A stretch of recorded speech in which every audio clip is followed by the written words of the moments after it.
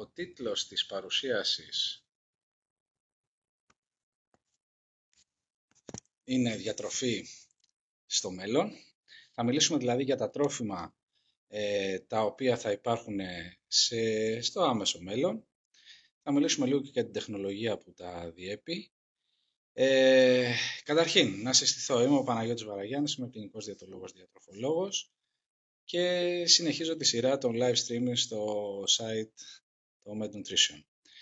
Ε, με χαρά και τιμή αποδέχτηκα την πρόσκληση από το φίλο και συνεργάτη το Μπάρετο Παπαχρήστο ε, για να μιλήσουμε για ένα ε, θέμα το οποίο θα νομίζω έχει ενδιαφέρον και θα μας απασχολήσει τα επόμενα χρόνια. Ε, ο προβληματισμός ο αρχικός όσον αφορά την επάρκεια τροφίμων είναι ότι υπάρχει μια εκτιμόμενη αύξηση του πληθυσμού 2 με 3 δισεκατομμύρια τα επόμενα 30 χρόνια. Και σίγουρα υπάρχει και μια εμφανής κλιματική αλλαγή στον πλανήτη. Αυτά τα δύο ε, δεδομένα προβληματίζουν έντονα την διεθνή επιστημονική κοινότητα που ασχολείται και σε θέματα διατροφής και σε θέματα τροφίμων. Τα ερευνητικά δεδομένα. Μιλάμε ότι η παγκόσμια ζήτηση τροφίμων θα αυξηθεί κατά 70 έως 80% μέχρι το 2050. Και έτσι ε, αυτό δημιουργεί μια όθηση για μια βιώσιμη και αηφόρα παραγωγή τροφίμων, ενώ ταυτόχρονα είναι μια από τις μεγαλύτερες προκλήσεις που έχει να αντιμετωπίσει η ανθρωπότητα στο μέλλον και είναι και μια δύσκολη υπόθεση για να τη λύσουμε. Ε, χαρακτηριστικό παράδειγμα είναι ότι οι αγορές της Κίνας και της Ινδίας διευρύνονται πάρα πολύ, ε, ψωνίζουν και αγοράζουν περισσότερο κρέας και αυτό έχει ως αποτέλεσμα την ε, ραγδαία αύξηση της παραγωγής διοξιδίου του άνθρακα που αυτό έχει, έχει ένα αρνητικό οικολογικό ε, αντίκτυπο. Άρα πρέπει να στρέψουμε τη διατροφή μας ε, σε λιγότερο ενεργοβόρα και ζημιογόνα για το περιβάλλον μοντέλα. Η πρόβλεψη που υπάρχει αυτή τη στιγμή είναι ότι θα πρέπει η ανθρωπότητα να καλύψει ένα κενό σε παγκόσμιο επίπεδο γύρω στις 7.000 τρισεκατομμύρια θερμίδες για τον πληθυσμό που έρχεται. Άρα ο υπερπληθυσμός της γης θα περιορίσει την επάρκεια τροφής και θα υπάρχει ασυτεία σε μεγαλύτερο μέρος της ανθρωπότητας από ό,τι υπάρχει μέχρι σήμερα. Γι' αυτόν τον τρόπο αναζητούνται νέοι τρόποι για τη σύντηση περισσότερων ανθρώπων σχεδόν με την ίδια σημερινή ποσότητα τροφής ή αν βρούμε κάποιους τρόπους να την αυξήσουμε. Άρα θέλουμε όλοι ένα δίκαιο, υγιές και φιλικό προς το περιβάλλον σύστημα τροφίμων ενώ σύμφωνα με τον Παγκόσμιο Οργανισμό Τροφίμων και Γεωργίας, του ΦΑΟ του ΟΗΕ, οι τροφές που διαλέγουμε, αλλά και ο τρόπος που το καταναλώνουμε, φαίνεται ότι επηρεάζει όχι μόνο την υγεία μας, αλλά και τον ίδιο τον πλανήτη. Επιτακτική ανάγκη επομένως για ένα σωστό προγραμματισμό, σχεδιασμό, παραγωγή νέων καινοτόμων τροφίμων με τη βοήθεια της βιομηχανίας και της τεχνολογίας, για να επιτευχθεί η επάρκεια σε ποσότητα αλλά και σε ποιότητα στα τρόφιμα που εξασφαλίζουν σίγουρα τα θρεπτικά συστατικά που χρειάζεται ο ανθρώπινος οργανισμός. Τα σενάρια είναι ότι στο άμεσο μέλλον δεν θα τρώμε τα ίδια πράγματα που καταναλώνουμε σήμερα και ό,τι τρώμε θα είναι κατασκευασμένο με κάθε πιθανό τρόπο. Για το λόγο αυτό αναζητούμε ηθικά τρόφιμα.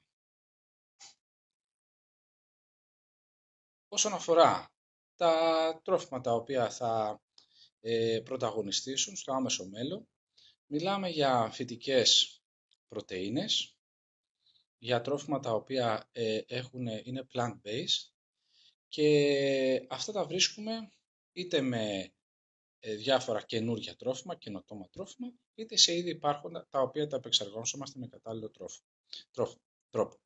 Μιλάμε για φυτικές πρωτεΐνες ε, οι οποίες ε, αυξάνονται η γάμα των τροφίμων που παρασκευάζονται από φυτικές πρωτεΐνες, όπως είναι ας πούμε, τα υποκατάστατα γάλακτος, τυριού. Υπάρχουν τα σνακ, τα οποία περιέχουν όσπρια ή λαχανικά και βλέπουμε ότι υπάρχει και μια τάση για το snacking περίπου στο 25 με 32% για το κυρίως γεύμα και αντίστοιχα με ένα 29% για το βραδινό γεύμα. Ε, υπάρχουν επίσης τα υποκατάστατα κρέατος ή αλλιώς τα λαχανικά που αιμορραγούν και δεν πρέπει να ξεχνάμε ότι ό,τι προϊόν, ό,τι προϊόν φτιάξουμε πρέπει να είναι και σε τέτοιο κόστος, ούτως ώστε ε, να μπορεί να το αγοράζει ε, άνετα ο πληθυσμός. Γιατί αν είναι κάτι πάρα πολύ ακριβό, ε, δεν θα μπορεί να το χρησιμοποιήσει καλά ο κόσμος. Άρα το κόστος διατροφής ανεβαίνει και έτσι πρέπει να αναπτυχθούν υποκατάστατες σημερινής διατροφής και να είναι οικονομικά προστά για τους περισσότερους πολίτες. Να πάμε λίγο στα τρόφιμα συγκεκριμένα κατηγορίας. Τα φύκια. Πολλοί λένε ότι η λύση του προβλήματος βρίσκεται στη θάλασσα, άρα πρέπει να κοιτάξουμε προς τη θάλασσα για να δούμε τα τρόφιμα του μέλλοντος. Ήδη από τα φύκια, από τα 10.000 είδη φυκιών που υπάρχουν, εμείς χρησιμοποιούμε σήμερα μόνο τα 500. Άρα μπορούμε, έχουμε πολλά περιθώρια βελτίωσης για ε, να βρούμε νέες πηγές τροφίμων. Οι άλγοι. Μιλάμε τώρα για πράσινα φυτά, τα οποία παράγουν μια σειρά από πρωτεΐνες και υδατάνθρακες, είναι καλή πηγή θρεπτικών ουσιών και περιέχουν και πολλά ω3 λιπαρά οξέα, τα καλά λιπαρά οξέα που έχουν και την καρδιοπροστατευτική δράση, δράση που θέλουμε. Ο εκπρόσωπος είναι ε, συγκεκριμένα νανοχλώροψης, ονομάζεται και χρησιμοποιείται αυτή τη στιγμή με μορφή σκόνης, πρωτεΐνες, ελαίου ή βουτύρου. Τα superfood, τα superfood επίσης, εκτός από τις κρέμες περιποίησης, ε, μας βοηθάνε και λίγο στη ρύθμιση του σωματικού βάρους και υπάρχει σε αυτά ένα φυσικό χημικό στα καφέ αυτά φύκια, τα οποία βοηθούν να σταματήσει το σώμα να απορροφά το λίπος από τα τρόφιμα. Όσον αφορά το τεχνητό κρέας, ε, μην ξεχνάμε ότι τρώμε και παρασκευάζουμε και προετοιμάζουμε κρέας για περισσότερο από ένα εκατομμύριο χρόνια, επομένως τη βασική μορφή την ξέρουμε εδώ και ένα εκατομμύριο χρόνια, τώρα έχουμε μπει στην άλλη φάση που έχουμε τεχνητό κρέας. Πώς γίνεται, σε ποιες χώρες γίνεται αυτή τη στιγμή, αυτή τη στιγμή γίνεται στην Αμερική, στο Ισραήλ και την Ιαπωνία. Υπάρχουν διάφορες εταιρείες οι οποίες ε, ψάχνουν τρόπους να μετατρέψουν τα βλαστοκύτταρα από ζωικό ιστό σε ιστό σε συνθετικό κρέας. Και έτσι αναπτύσσονται υποκατάστατα μπριζόλας από μάζες κυτάρων και παίρνουν τη μορφή που θέλουμε εμείς με την ε, βοήθεια τρισδιάστατων εκτυπωτών. Το τεχνητό ή συνθετικό κρέας, τα υπέρ του, σύμφωνα με μια μελέτη η οποία έγινε εδώ και καιρό, προσφέρει 7 με 45% χαμηλότερη ενέργεια 78 με 96% χαμηλότερες εκπομπές αερίων θερμοκηπίδου και 99% λιγότερη χρήση γης. Ε, επομένως, ε, οι επιχειρήσεις αυτές που ασχολούνται με το κρέας είναι εξαιρετικά πιο φιλικές με το περιβάλλον. Η μέθοδος τώρα είναι πανομοιότυπη με τη μέθοδο αναγεννητικής ιατρικής με τη χρήση πλαστικών κυτάρων. Ε, γενικά να πούμε ότι δεν πρόκειται για γενετικά μεταλλαγμένο τρόφιμο, αλλά για μια απλή αντιγραφή ιστών. Όσον αφορά τη γεύση του, οι Ολλανδοί σε διάφορες, σε διάφορες πειραματικές γευστικές δοκιμές δήλωσαν ότι ε, δεν διαφέρει και πάρα πολύ η γεύση του και θεωρούν ότι είναι το κρέας του μέλλοντος. Και σίγουρα δεν έχουν και το κομμάτι της φαγής και το ηθικό κομμάτι της ε, εκμετάλλευσης των ζώων. Υπάρχει επίσης ένα άλλο φυτό, το οποίο είναι φύκι και αυτό, το οποίο έχει γεύση σαν μπέικον. Άρα μπορούμε, είναι το κόκκινο φύγι Dolce, το οποίο αντικαταστεί τις λεπτές φέτες μπέικον ενώ στο Πανεπιστήμιο του Όρεγκον στις ΗΠΑ ε, ε, φάνηκε η υψηλή θρεπτική του αξία, έχει αρκετή πρωτεΐνη και μοιάζει γευστικά, όπως είπαμε, με το bacon. Καλλιεργείται σε θαλασσινό νερό με χαμηλότερο περιβαλλοντολογικό και οικονομικό κόστος. Άλλο ε, ε, τρόφιμο το οποίο μπορούμε να χρησιμοποιήσουμε ως υποκατάστατο ζωικό είναι η μέδουσα. Στη γειτονική Ιταλία το χρησιμοποιούν αρκετά και μπορούμε να πούμε ότι αντικαταστά ε, επάξια το κρέας. Συνεχίζοντας με τα έντομα, το 2100, σε μερικά χρόνια από τώρα, σε αρκετά χρόνια από τώρα, σε 70 χρόνια περίπου από τώρα, θα είναι τα έντομα μια πολύ συνηθισμένη τροφή για όλο τον πλανήτη. Ήδη 2 δισεκατομμύρια το καταναλώνουν, το 2100 η προβλέψη είναι ότι θα το καταναλώνουν σχεδόν διπλάσια. Ε, μόνο οι άνθρωποι της Δύσης γενικά έχουν πρόβλημα με την ιδέα περισσότερο να τρώνε έντομα. Υπάρχουν 1000 έως 2000 είδη εντόμων για ανθρώπινη κατανάλωση. Αυτή τη στιγμή καταναλώνονται περισσότερο στην Κίνα, την Αφρική και την Νότια Αμερική. Αυτά είναι πλούσια σε πρωτεΐνες, σε λίπος, σε μέταλλα, όπως είναι ο ασβέστιος, το ψευδάργυρο και ο σίδηρος και οι βιταμίνες. Με συγχωρείτε λίγο. Αυτά τα χρησιμοποιούμε είτε ολόκληρα είτε σε προστίκη σε άλευρα, δημητριακά, ακόμα και σε μπιφτέκια. Ε, ήδη στην Ευρωπαϊκή ε, Ένωση έχει δοθεί το πράσινο φως για να χρησιμοποιούνται σε, ζω, σε ζωοτροφές ε, αλλά και σε, ε, και σε άλλες τροφές ε, του ανθρώπου. Εδώ μιλάμε για, συγκεκριμένα για το κίτρινο σκουλίκι, το οποίο μπορεί να μπαίνει σε μπάρες, σε πατές, σε σνακ, ακόμα και σε ζυμαρικά. Όσον αφορά τα τροποποιημένα τρόφιμα, Η γενετική τροποποίηση έχει ξεκινήσει εδώ και 40 περίπου χρόνια. Αφορούσε το καλαμπόκι, τη σόγια, τις πατάτες, το ρύζι, τις πατάτες και άλλα ζυμαρικά και άλλα λαχανικά. Υπάρχουν τώρα πολύ καινούριε τεχνικές και έτσι τα προϊόντα που βγαίνουν ε, είναι θεωρητικά ε, εμφανισιακά πιο ωραία ε, και ο καταναλωτής θα παίρνει πιο εύκολα.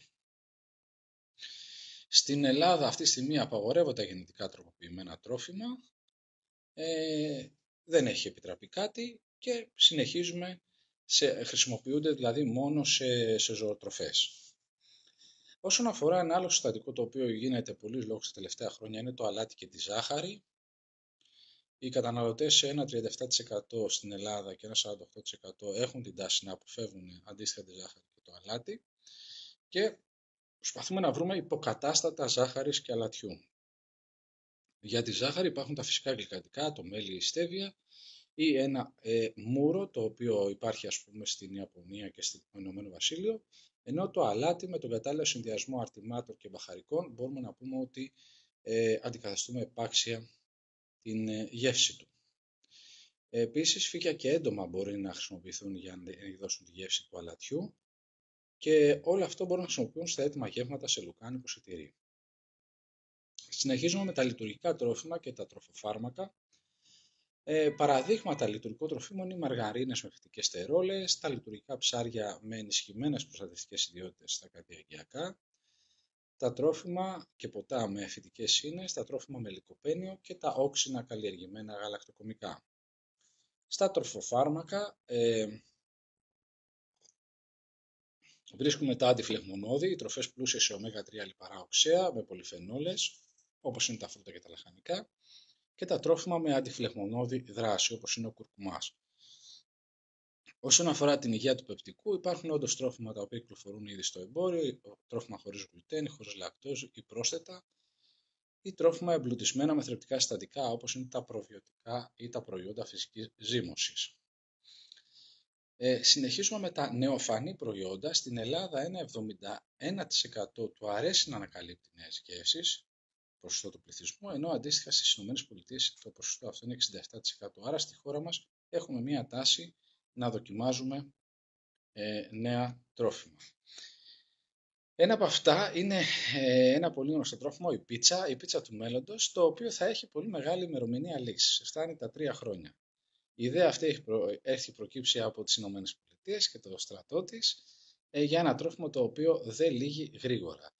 Η αυθεντική πίτσα με μια επικάλυψη γλυκερόλης και ενός υγρού που μάχει τα, τα βακτηρίδια αυξάνει τη διάρκεια ζωής των τροφίμων. Αλλά, άρα μπαίνουμε λίγο στο κομμάτι της, ε, του χρόνου ζωής των τροφίμων και πώς αυτά θα τα κρατήσω περισσότερο ε, και να μην λύγουν. Υπάρχουν κάποια άλλα καινούργια τρόφιμα τα οποία ανακατεύουμε, μάλλον συνδυάζουμε δύο τρόφιμα. Εδώ υπάρχουν οι τοματοπατάτες. Η μελέτη αυτή γίνεται εδώ και 15 χρόνια. Είναι δύο λαχανικά που ανήκουν στην ίδια οικογένεια των λαχανικών, τα οποία τα συνδυάζουν και μπορεί, πρόκειται για ένα υβριδικό φυτό, το οποίο μπορεί να έχει ε, τις, ε, να συνδυάζει την ντομάτα και την πατάτα και στα θρεπτικά συστατικά και στο ε, ε, σχήμα.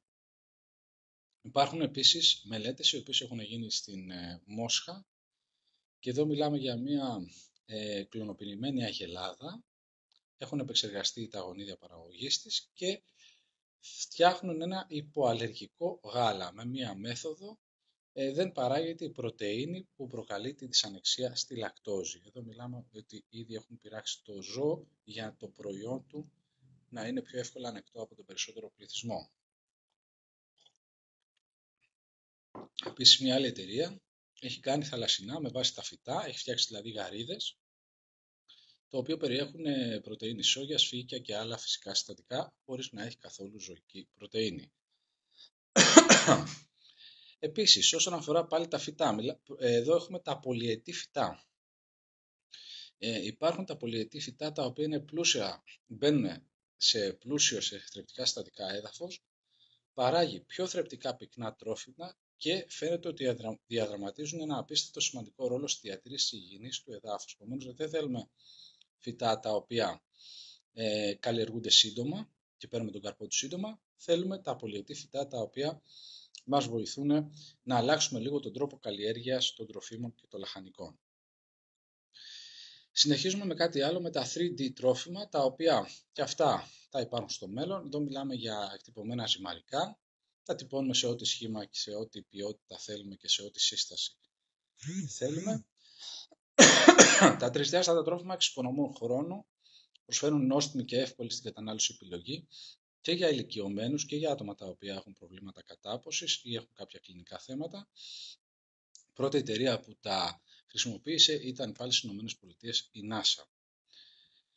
Ε, τώρα, όσο για τις βιώσιμες πρακτικές, ε, δεν, μην ξεχνάμε ότι υπάρχει ε, μία τάση για εξατομικευμένη διατροφή, αυτό που, κάνουν και, αυτό που κάνουμε και εμείς οι επαγγελματίες διαιτολόγοι στο κάθε, στο κάθε άτομο που επισκέπτεται το γραφείο μας ή το χώρο μας.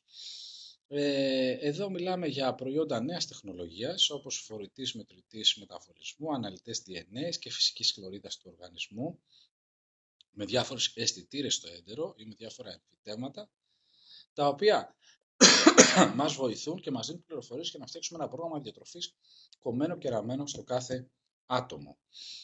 Άρα ε, υπάρχει εδώ μέλος στην εξατομικευμένη διατροφή και εξαρτάται και από άλλες, ε, από, ε, άλλες συσκευές όπως είναι όπως είπαμε τα, η 3D εξύπωση, τα διάφορα, ε, οι διάφορες ή τα εμφυτέματα και μετά πώς παρασκευάζουμε το γεύμα που έχει προκύψει από όλες αυτές τις αναλύσεις.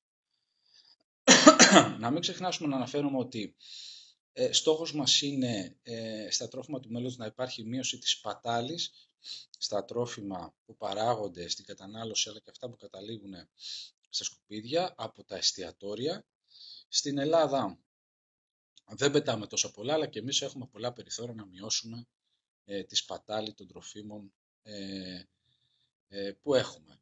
Ε, έχουν βγει πριν από ένα χρόνο περίπου και ένας νόμος όσον αφορά στη χώρα μας για τα εστιατόρια, τι γίνεται και πώς μπορεί να τη μειώσουμε και ποιοι υποχρεούνται σε μείωση σπατάλης. Να πούμε λίγα λόγια για τη συσκευασία. Υπάρχουν τεχνολογικές καινοτομίες όσον αφορά τις συσκευασίες. Εδώ μιλάμε για βελτιωμένες ιδιότητες τις συσκευασίες. Αν είναι βιοδιασπόμενες, αν υπάρχουν οι ενεργές συσκευασίες, οι έξυπνες συσκευασίες, η παρακολούθηση των συνθήκων μέσα στο προϊόν, ε, κάποιοι αισθητήρες και πληροφορίες σχετικά με το προϊόν. Όλες αυτές οι τεχνολογικές καινοτομίες μας βοηθούν να έχουμε καλύτερη συσκευασία στο προϊόν, πιο ανθεκτική, ε, πιο οικολογική και να συντηρεί καλύτερα το τρόφιμο. Η ενεργή συσκευασία και τα nano pack είναι το μέλλον όσον αφορά στο κομμάτι των ε, συσκευασιών. Ε, επίσης υπάρχουν και οι βρόσιμες συσκευασίες. Εδώ μιλάμε για βρόσιμα ποτήρια ή μπουκάλια νερού, ε, βιοδιασπόμενα πλαστικά ή μπόλα από μανιτάρια ή μαχαιροπύρουνα από πίτουρο σιταριού. Άρα υπάρχουν και, ε, και φούλα ανακυκλώσιμες ε, συσκευασίες, τα οποία μπορούμε ακόμα να τα χρησιμοποιήσουμε και ως τρόφιμα. Ε, όσον αφορά το κομμάτι τώρα της καλλιέργειας υπάρχουν και οι φάρμες ελεγχόμενου περιβάλλοντος. Εδώ η τεχνολογία της ρομποτικής και η τεχνητή νοημοσύνη μας βοηθάει να συντηρήσουμε και να καλλιεργήσουμε καλύτερα αυτά τα αγροκτήματα σε εισαγωγικά, τα οποία αυτά βασίζονται σε δεδομένα και κάθε φυτό παρακολουθείται προσεκτικά μέσα από ένα δωμάτιο, ελέγχουμε μεγάλες οθόνες, μιλάμε για θερμοκρασία, για θερμικά συστατικά, το νερό και το φως που περιέχουν.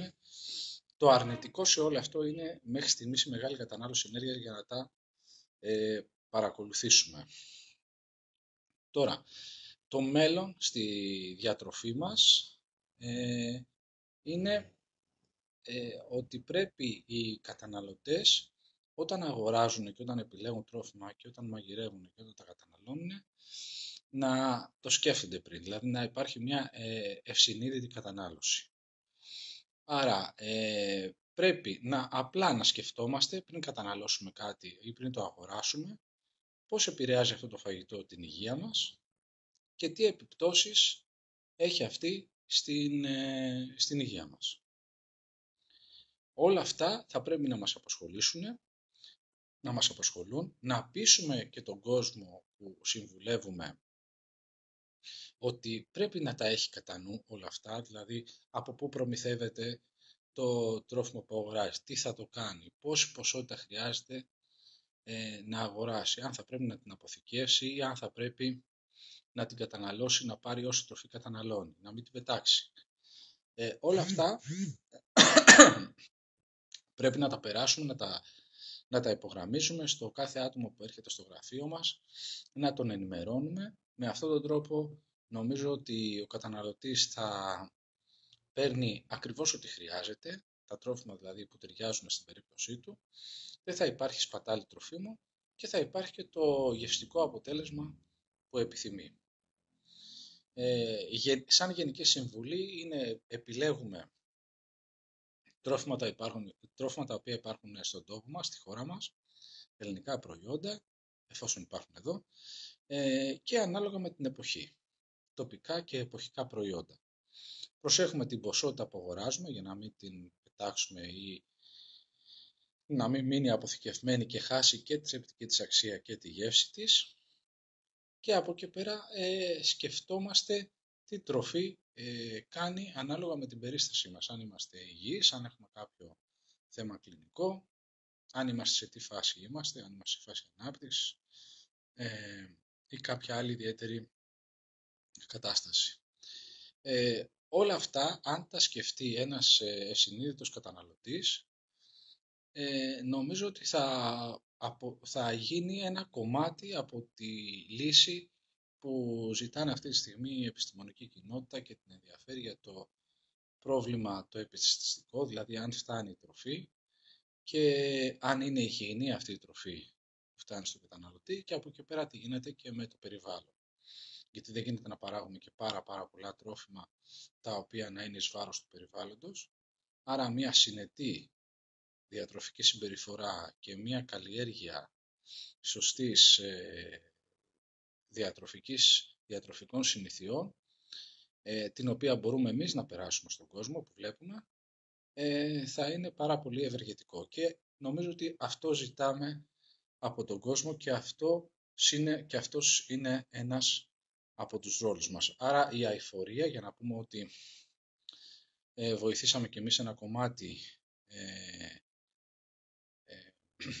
αηφορία στον πλανήτη, στο κομμάτι της διατροφής, αυτά που προτείνουμε και αυτά που συμβουλεύουμε ε, πρέπει να έχουν ένα θετικό αντίκτυπο και στην υγεία του καταναλωτή, αλλά πλέον σκεφτόμαστε και, την, ε, και το μέλλον του, του πλανήτη. Ε, λοιπόν, αυτά, αυτά ήθελα να πω σε γενικές γραμμές. Δεν ξέρω αν έχετε κάποιες ε, απορίες ή κάποιες ε, ερωτήσεις να μου κάνετε.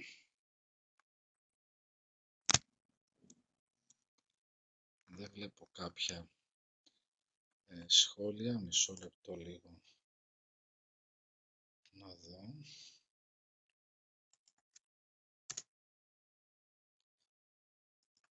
Ε, έχετε κάποια ερώτηση να μου κάνετε;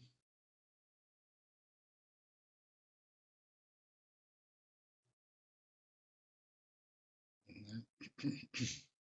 κάποιο σχόλιο; Ε, αυτό που κρατάμε εφόσον δεν υπάρχει κάποια ερώτηση είναι ότι ο τρόπος που σιτιζόμαστε, ο τρόπος που αγοράζουμε, επιλέγουμε την τροφή σίγουρα έχει κάποιο αντίκτυπο και στην υγεία μας και στο περιβάλλον.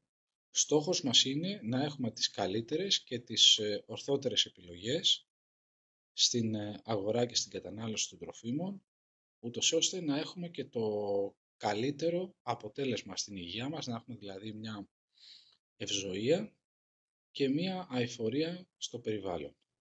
Η λύση δηλαδή σίγουρα περνάει από το χέρι μας, περνάει από το μυαλό μας, πώς σκεφτόμαστε για το φαγητό και πώς σκεφτόμαστε και ό,τι αυτό περιβάλλει, ούτως ώστε να, ε, να μας βοηθήσει να έχουμε εμείς υγεία και το περιβάλλον ε, αηφορία. Τα τρόφιμα του μέλλοντος αυτό το κομμάτι θέλουν να εξυπηρετήσουν και αυτό το στίχημα θέλουν να κερδίσουν.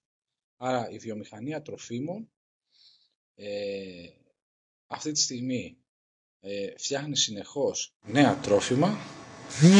Το θέμα είναι να... τα τρόφιμα που φτιάχνει να σέβονται το περιβάλλον και να είναι όσο γίνεται πιο θρεπτικά για να ε, εξυπηρετούν και την υγεία του καταναλωτή. άρα έχουμε μια, ένα διπλό στίχημα ε, το οποίο καλούμαστε να, να αντιμετωπίσουμε. νομίζω θα τα καταφέρουμε. Ήδη ε, είναι όλοι ευαισθητοποιημένοι και η βιομηχανία τροφίμων και σιγά σιγά αφαπνίζεται και το καταναλωτικό κοινό και εμείς οι διαιτολόγοι έχουμε ένα ρόλο ε, να συμβουλεύσουμε και τους δύο, και τη βιομηχανία και τους καταναλωτές. Άρα και εμείς στα προγράμματά μας, όσο μπορούμε, έχουμε και αυτό υπόψη μας και βάζουμε και αυτή την παράμετρο στα προγράμματα που δίνουμε στον κόσμο και γενικά τις διατροφικές συμβουλές που του προσφέρουμε. Ε, κάπου εδώ ε, τελειώνει το, αυτό το live streaming.